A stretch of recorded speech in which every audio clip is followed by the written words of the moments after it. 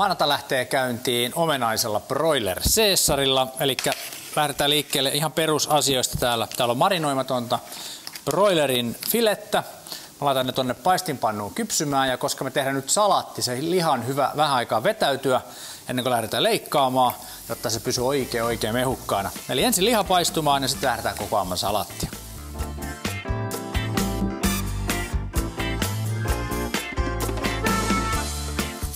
Sitten makuja pintaan, suolaa ja pippuria.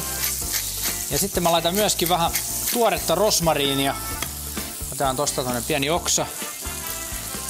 Ja rosmariini kannattaa tehdä aina vetää vähän niin kuin vastakarva, niin nämä lehdet lähtee tästä nätisti irti. Laitan ne tänne paistevo joukkoon, niin tuo kivan, kivan lisäaromin. Seuraavana, kun nämä tässä rauhassa paistuu, niin lähdetään tähän muokaa huhtastaa vähän salattia vielä. Ja, ja nyt kun tehdään Caesaria, niin useinhan siinä on tämä romainen salatti, mutta ei se ole niin oreallinen, että ihan hyvin voitte käyttää muitakin salattia. Tänne perinteinen jääsalatti tai erittäin hyvä salatti, niin tätä voidaan käyttää aika monipuolisesti erilaisiin käyttötarkoituksiin. Ja nyt kun mä vähän tää pyyhkeä sisällä näitä huljuttelin, niin kuin tuolla Turun päässä sanotaan, niin silloin me saadaan tämä ylimääräinen vesi näistä pois. Sitten me sekoitetaan siihen se nimeantava kastike, eli tämä Caesar-kastike. Ja sitten sen päälle tuleekin puolitettuja kirsikkatomaatteja, sinihomme juustoa ja vähän parmesaan raastetta. Ja ihan lopuksi sitten lisätään nämä broilerit vielä viipaloituna pinnalle.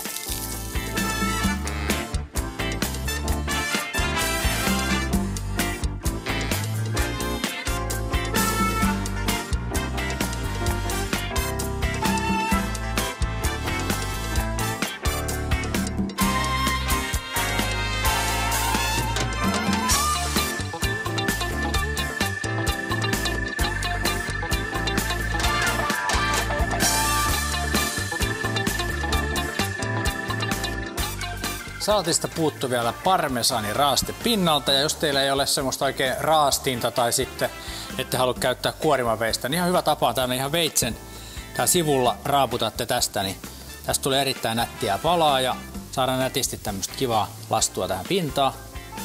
Ja näin leipäviikon kunniaksi, niin me tarvitaan nyt poikkeuksellisesti vähän tummempaa leipää tämän Caesar-salaatin kanssa. Aina sen ei tarvitse olla vaaleita leipää, vaan hyvä ruisleipä seuraavaksi sopii tähänkin. Huomenna jatketaan sitten täytetyn chiapatan parissa. Nähdään silloin, moi moi! To be continued.